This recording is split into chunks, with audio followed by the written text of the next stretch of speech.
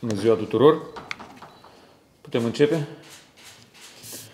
Uh, fracțiunea Partidului Acțiune și Solidaritate solicită Guvernului să retragă imediat proiectul legii bugetului și politicii fiscale și să propună Parlamentului proiecte noi, care să corespundă nevoilor oamenilor.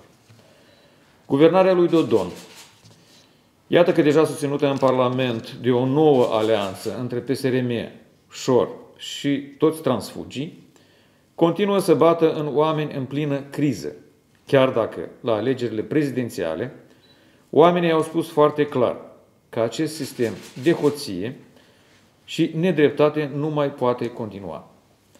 Suntem în plină criză, circa 60.000 de oameni și-au pierdut locurile de muncă iar o treime din întreprinderile mici și mijlocii sunt în prag de faliment.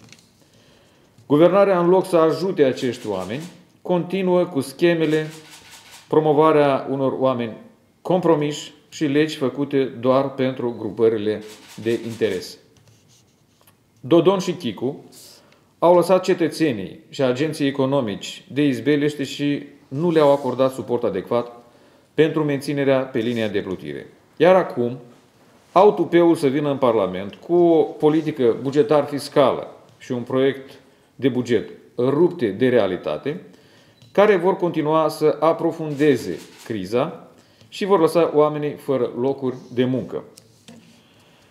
Guvernarea lui Dodon vine cu aceste documente importante pe furiș, fără să lase publicul și uh, să le arate publicului și fără Uh, să le lase suficient timp deputaților și încearcă să le boțească repede, astfel ca să nu iasă la lumină toate schemele și nedreptățile pe care le introduc prin aceste documente.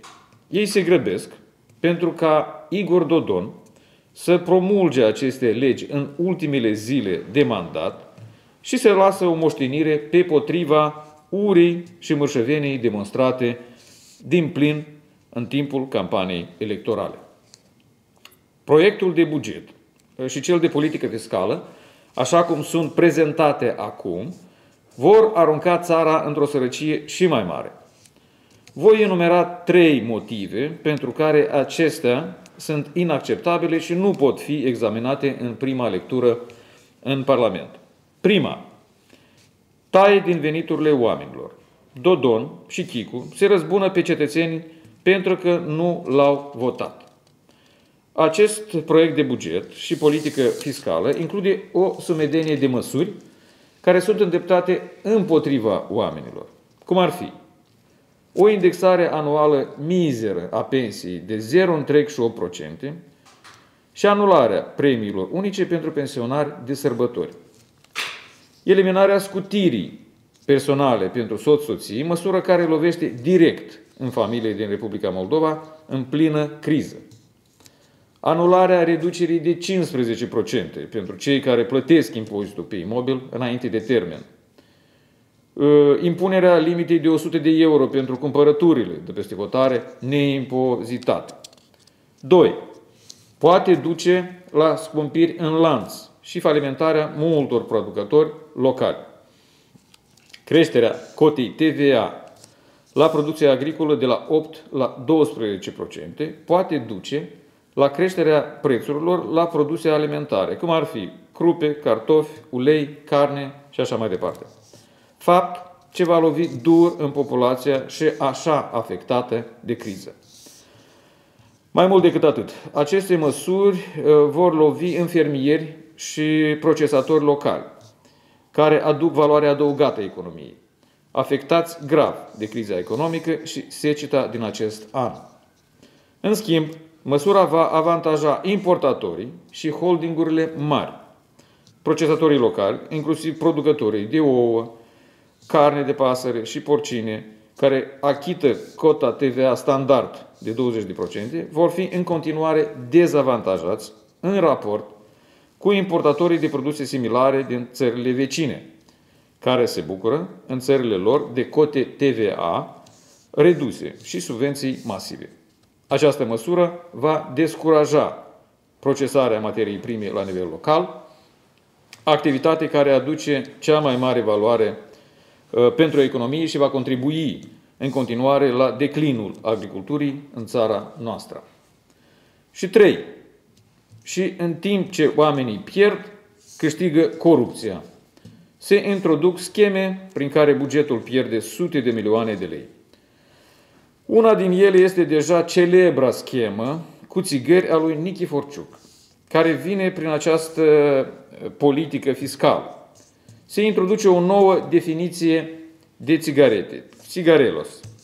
Acest tip de țigări, comercializate de întreprinderile controlate de Nichiforciuc și Andronache, vor beneficia de un acciz mult mai mic și vor fi scutite de obligativitatea aplicării avertismentului de sănătate. Prin această modificare, statul va pierde în medie 10 lei pentru fiecare pachet de țigări vândut de firmele lui Nichiforciuc și Andronache. 10 lei per pachet, care vor merge nu pentru pensii și salarii, dar direct în buzunarele contrabandiștilor din Parlament. Ne mai vorbim de costurile pentru sănătatea oamenilor, întrucât acestea, acestea sunt țigări de proastă calitate uh, și care vor putea fi cumpărate mult mai ieftin. O altă schemă majoră pentru uh, uh, care este inclusă prin uh, ușa din spate, ține de importul masiv de medicamente neautorizate pe piața locală, prin completarea articolului 11, alineat 8, din legea cu privire la activitatea farmaceutică. Nu știm la concret cine va beneficia de această schemă, dar cu siguranță nu sunt străine de ea deputații care îi asigură susținerea guvernului lui Dodon și au interese în domeniul farmaceutic. Ă, se mai introduc facilități fiscale pentru pariuri, o altă preocupare a guvernului Dodon. Și se aruncă încă 68 de milioane lei pe arena națională. Un proiect conceput și implementat ca o simplă schemă de delapidare a banului statului. În plus, proiectul de lege a bugetului ă, și politicii fiscale Uh, au ajuns în Parlament cu o viteză fulgerătoare și cu încălcarea fără precedent a normelor de transparență. Documentele nu au fost supuse consultărilor publice nici măcar o zi, chiar dacă sunt proiecte extrem de voluminoase.